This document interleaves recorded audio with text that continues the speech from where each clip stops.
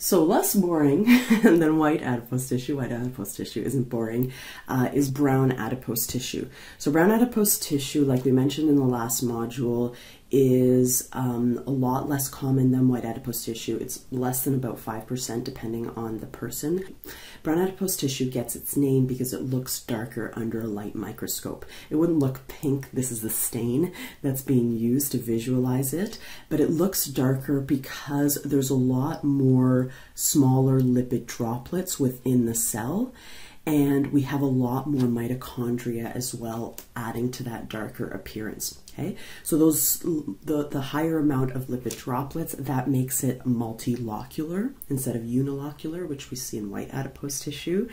And we do tend to see a lot more brown adipose tissue in areas that are highly innervated and vascular. And like I mentioned, we tend to see a lot more in this upper cervical and clavicular region okay, um, develops, so this is interesting, and we'll get back to this later. Brown adipose tissue, we believe, develops from muscular progenitors, which explains why it's more metabolically active and there's so much more mitochondria as well. And like we mentioned in the last section, the main function of BAT is to uh, burn energy for uh, thermogenesis and specifically adaptive thermogenesis, and we'll get back to that later on. Okay, so this slide gives you an idea of some of the regions where we might see uh, brown adipose tissue. Like I mentioned in the last section, we didn't actually think that adults had BAT. We only really typically saw it in hibernators and neonates, both of which need more thermogenic capacity. Um, neonates need that because they have a lot of surface area. Hibernators need that because they're hibernating. but we also see uh, some BAT in adults, and not everyone is going to have BAT in all of these areas, but uh, just want to show you these are areas where it has been evidenced, and we find it both um, viscerally and subcutaneously.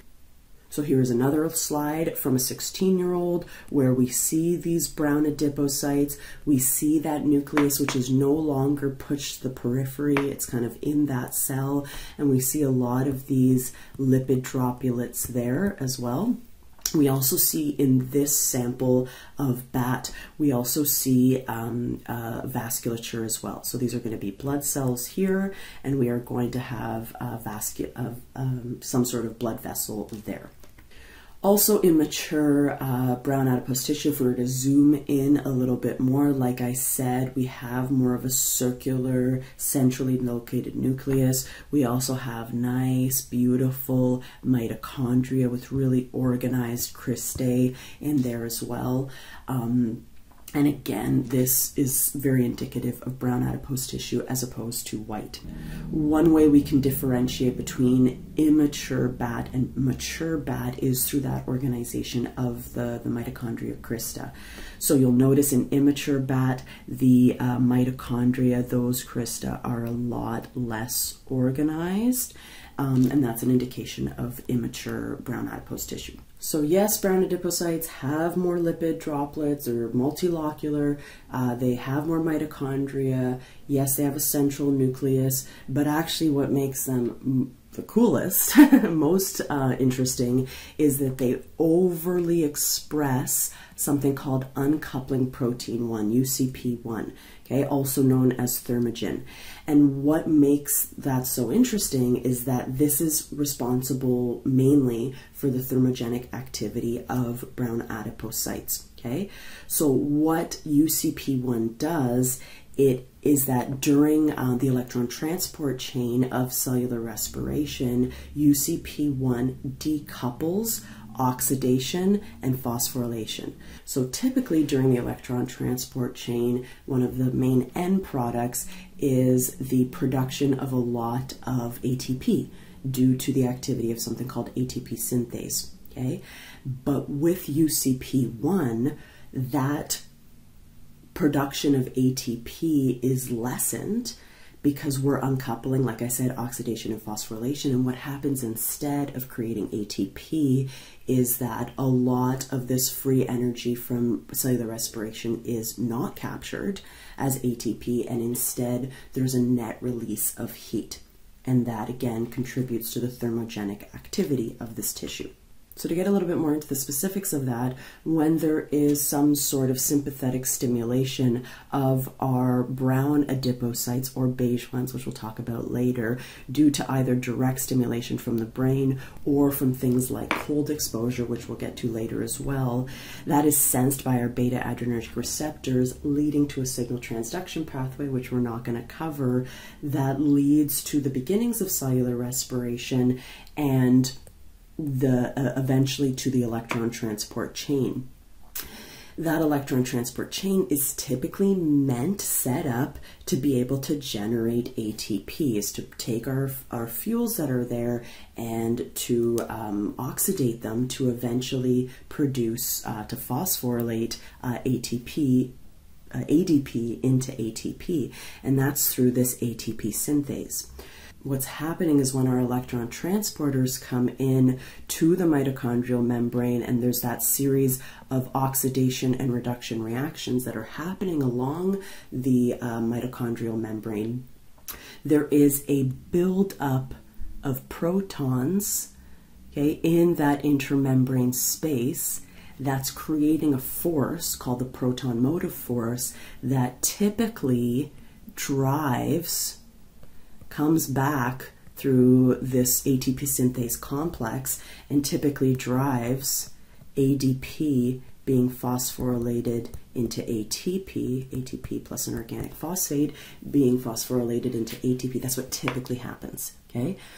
But because of uncoupling protein 1, which we find in these brown fats, uh, that part is uncoupled, okay? And protons instead flow back okay, to the mitochondrial matrix through this UCP1 complex.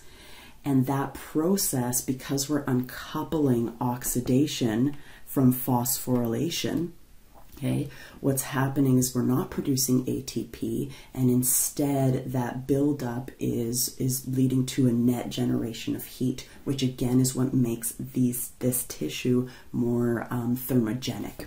So I wanted to bring in a more specific study that looks at brown adipose tissue and how we identify it in the body. Okay, so what they actually did is they used um, both uh, PET and CT scans to identify um, brown adipose tissue sites in both men and women. And one of the goals of the study was to differentiate between between the genders as far as the presence of BAT. Okay.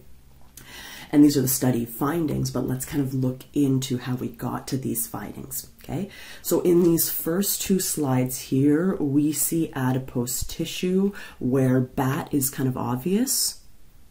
Okay, but also where BAT is even more obvious because we're staining for UCP1.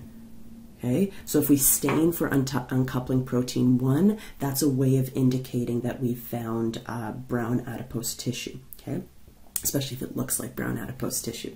And also using a, a PET scan, a CT scan, or a combined PET and CT, we're going to see larger regions of adipose tissue, like I keep saying, in these upper cervical, kind of upper cervical, um, sorry, upper cervical and upper clavicular regions. Okay, so that's as far as where it tends to be lo located.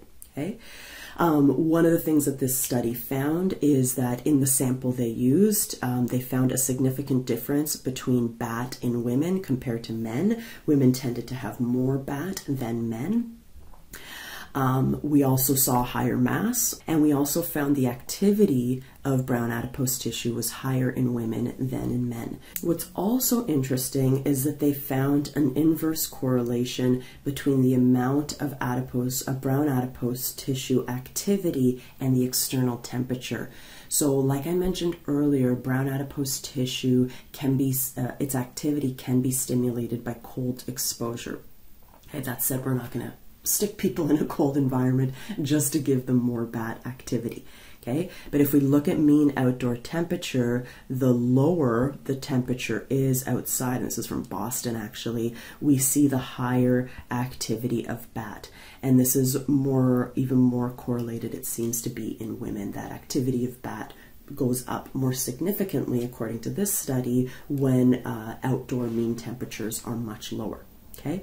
We also see an inverse correlation between um, detectable BAT and age. So BAT tends to go down at higher ages, so it seems to be more active and present at um, kind of adult, younger adult ages.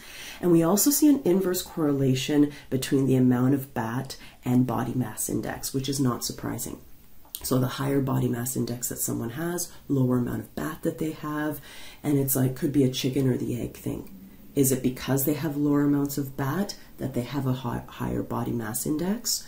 Or is there something about having higher amounts of adiposity that maybe displaces BAT or that promotes just lower amounts of it. Another thing we found is that higher amounts of BAT are inversely correlated with glucose levels. Okay, so we believe that brown adipose tissue is better at getting glucose out of the blood, which is something really important for lowering the risk of type 2 diabetes. Okay, so BAT sounds really good so far. It sounds really good, but we need to be careful because we don't have that much of it. And when we first started learning about BAT, everyone was like, this is the solution to obesity. We just got to pump people up full of BAT. And we're not there yet, obviously. And again, like we keep talking with obesity, is that there's there, there's more than one thing going on, and there's no like magic solution for it. But uh, BAT is a promising area of research, and it's a really interesting one of research as well. Okay, so this slide just kind of summarizes what I pointed out on the last slides. Okay, this slide also shows that in leaner individuals, so this is from a leaner individual up top, compared to individuals with obesity, we tend to see higher amounts of BAT activity at lower levels of adiposity, which we talked about in the last section. And we also see higher amounts of BAT activity with cold exposure. Okay, so B and D are cold exposure, and we see higher amounts of that activity with that, which I've kind of said a few times. Okay. As far as where BAT is coming from, I like kind of alluded to this earlier. We're still kind of unclear about where BAT develops from. And it's we used to believe that brown adipocytes developed from a shared precursor of skeletal muscle that expresses something called MYF5 um, which would explain if it's developing from the same precursors as skeletal muscle, like I said earlier, it would explain why it has more mitochondria, why it's more metabolically active as well. Okay. Conversely, white adipose tissue typically develops from um, cells or precursors that don't express that particular factor. Okay. That said, what's interesting, and we're going to get to this when we talk about beige adipose tissue in the next module, some BAT also seems to develop from these negative uh, MYF5 negative precursors, not the skeletal muscle precursors that most BAT develops from. And we believe this is an entirely different type of adipose tissue, which is similar but but develops differently, something called beige adipose tissue. And we'll learn in the next section that beige adipose tissue is brown adipose tissue that developed from white adipose tissue. It beiged.